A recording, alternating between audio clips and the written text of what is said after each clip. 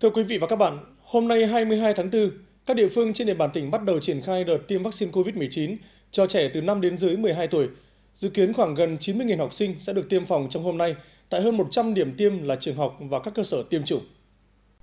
Loại vaccine sử dụng cho trẻ từ 5 đến dưới 12 tuổi là Moderna, tiêm các liều cơ bản cùng loại vaccine. Đối với mũi 2 dự kiến tiêm cho trẻ trong vòng 14 ngày, khoảng cách giữa hai mũi tiêm theo hướng dẫn của nhà sản xuất. Theo khuyến cáo của Bộ Y tế, với vaccine Moderna, trẻ thường đau tại vị trí tiêm, mệt mỏi, đau đầu, đau cơ, ớn lạnh, buồn nôn, nôn mửa, sưng, đau ở nách, sốt, ban đỏ tại vị trí tiêm, sưng tại vị trí tiêm và đau khớp.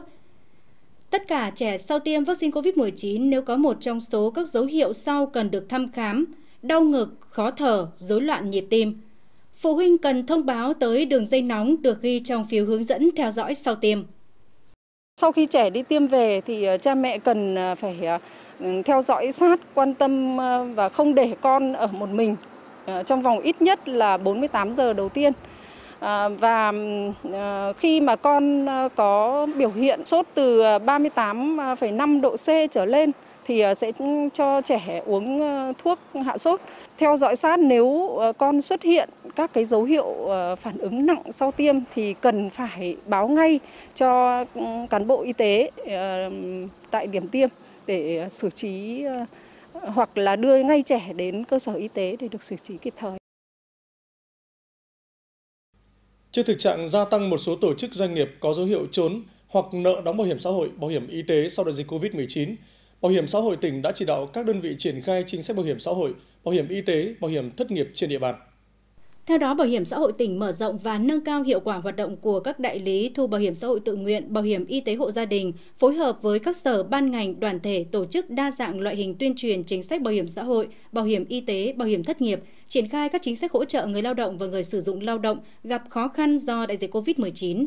đặc biệt tăng cường thanh tra chuyên ngành việc thực hiện chính sách bảo hiểm xã hội đối với các đơn vị sử dụng lao động cố tình trốn đóng, nợ đóng, tham gia chưa đầy đủ cho số lượng lao động thuộc diện phải tham gia bảo hiểm xã hội, bảo hiểm y tế, bảo hiểm thất nghiệp, tập hợp hồ sơ các đơn vị trốn đóng, gian lận, trục lợi, chuyển cơ quan điều tra xử lý theo quy định pháp luật. Công an huyện Yên Khánh đã triệt phá thành công chuyên án đấu tranh phòng chống tội phạm, bắt quả tang Tạ Văn Hậu sinh năm 2002 ở xóm chùa xã Khánh Hội, huyện Yên Khánh về hành vi cho vay lãi nặng trong giao dịch dân sự. Bước đầu Tạ Văn Hậu khai cho Phạm Thành Duy sinh năm 2000 vay số tiền 15 triệu đồng với mức lãi suất 7.000 đồng 1 triệu một ngày, tương ứng với mức lãi suất 255,5% một năm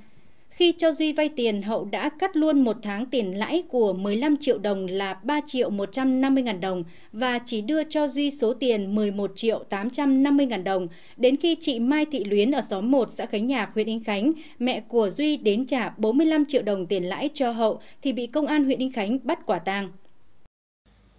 Qua công tác trinh sát nắm tình hình, đội cảnh sát điều tra tội phạm về hình sự kinh tế ma túy công an huyện Hoa Lư tiến hành kiểm tra hành chính cơ sở lưu trú homestay Ninh Xuân thuộc xã Ninh Xuân, huyện Hoa Lư, phát hiện có 6 đối tượng nam nữ đang tổ chức sử dụng trái phép chất ma túy. Lực lượng công an đã thu giữ 0,6 gam ketamin và 1,15 gam ma túy tổng hợp dạng kẹo, nhiều đồ vật để sử dụng ma túy. Qua test nhanh, 5 trên 6 đối tượng dương tính với các chất ma túy, Tại cơ quan công an, các đối tượng Nguyễn Đức Anh sinh năm 1994, Nguyễn Thế Cảnh sinh năm 1991 cùng chú tại xã Ninh Khang, huyện Hoa Lư và Trần Cao Cương sinh năm 1992 trú tại phường Phúc Thành, thành phố Ninh Bình khai nhận mua số ma túy trên ở thành phố Hà Nội về tổ chức sử dụng. Tiếp theo chương trình, xin mời quý vị và các bạn theo dõi một số thông tin an ninh an toàn đáng chú ý. Liên quan đến kỳ thi tốt nghiệp trung học phổ thông năm 2022, Bộ Giáo dục Đào tạo cho biết thí sinh là F0 được xét đặc cách tốt nghiệp nếu xác định nhiễm bệnh trong thời gian trước thi 10 ngày. Thí sinh là F1 chỉ hạn chế tiếp xúc chứ không bị cách ly vẫn thi bình thường. Các F0 nếu cần thi lấy điểm xét tuyển vào các trường đại học và cao đẳng có điều kiện thi được thì phối hợp với cơ quan y tế địa phương tổ chức ghép thi cùng một đợt, trừ trường hợp các địa phương dịch bệnh diễn biến rất phức tạp không thể tổ chức thi cùng được.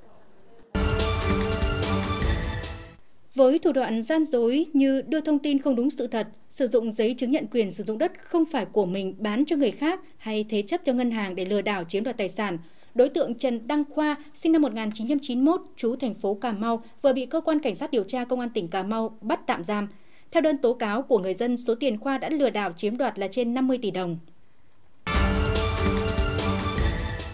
Phòng Cảnh sát điều tra tội phạm về ma túy Công an tỉnh Yên Bái vừa phát hiện bắt quả tang đối tượng Hờ A Phành, chú huyện Trạm Tấu thu giữ một gói ni lông chứa các viên nén nhỏ màu xanh và màu hồng. Khám xét khẩn cấp nơi ở của đối tượng, lực lượng công an tiếp tục phát hiện và thu giữ 53 túi ni lông. Bên trong đều có chứa các viên nén màu hồng và màu xanh. Qua giám định, toàn bộ số tăng vật bị thu giữ kể trên đều là ma túy tổng hợp, số lượng gần 17.000 viên, tổng trọng lượng hơn 1,6 kg. Quý vị và các bạn thân mến, mục an ninh an toàn ngày hôm nay đến đây là hết. Cảm ơn quý vị và các bạn đã quan tâm theo dõi. Xin kính chào tạm biệt và hẹn gặp lại. Trái lạc tiên mang lại nhiều lợi ích tuyệt vời cho cơ thể. Vitamin C, beta carotene và các hợp chất polyphenol giúp cơ thể tăng cường hệ miễn dịch, trung hòa các gốc tự do, ngăn ngừa sự lão hóa. Được làm 100% từ những trái lạc tiên chín mọng, mang lại sự tươi trẻ và tràn trề sức sống. Nước lạc tiên đồng dao, ngọt ngào, quyến rũ,